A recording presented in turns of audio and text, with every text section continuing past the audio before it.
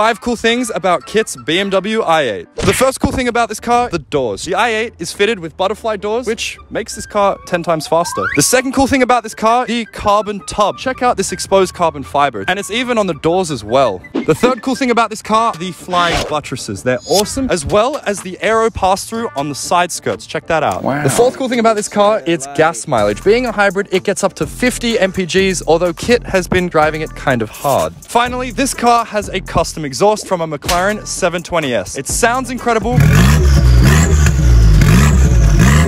That's a three cylinder. Crazy. But more importantly, it shoots flames.